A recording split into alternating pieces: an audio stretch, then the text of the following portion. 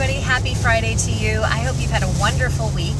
I wanted to um, let everybody know that I have a very special family closing on their dream home today. I am so excited for you, Neil and Tanya. You have been very patient and waiting for just the right house to come along, and this is definitely a dream home for sure. Congratulations and happy closing day.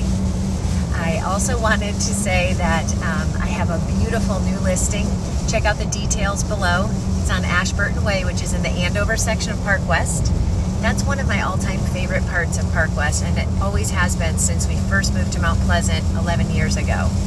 Take a look at the details of this home. It's fantastic. It's just the coolest craftsman type bungalow house and has the best layout. If you have any questions or you know anybody that might want to have a tour, give me a call. This one's priced very, very aggressively, so um, I'm thinking it's going to sell very quickly.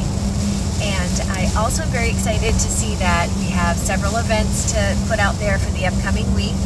And um, I want you to have a look below, whether it's a musical event or a book signing.